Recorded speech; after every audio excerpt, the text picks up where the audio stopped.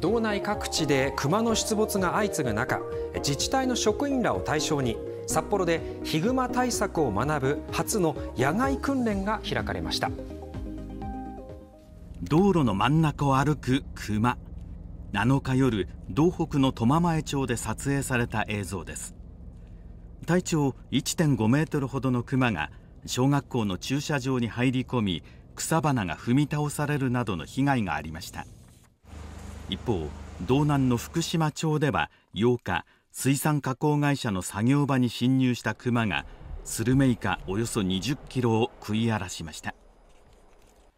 相次ぐクマの出没を受け昨日札幌市南区で市街地に現れたクマへの対応を学ぶ研修会が開かれました。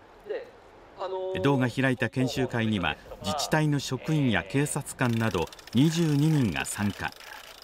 去年10月に実際にクマが出没し駆除された場所で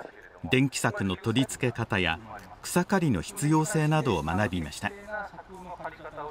またクマと遭遇した際に使う撃退スプレーの実践演習も行われました。小出しにするんじゃなくてずっと押し続けるっていうの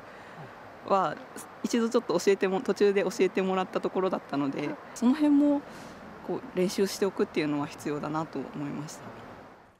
これからの季節クマは冬眠前に餌を求めて活動が活発になるため今後も警戒が必要だといいます。食べられるものを求めてクマが移動する、まあ、活動するっていうことがあるかもしれないです。生ゴミだったりそういったものの管理がしっかりするっていうのが大事だと思います。